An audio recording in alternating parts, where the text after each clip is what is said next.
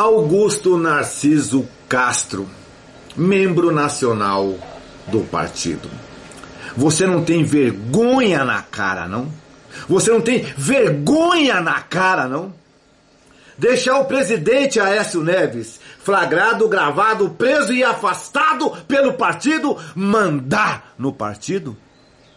Pede para sair. Pede para sair. Se você ficar, você é tão bandido quanto o seu presidente.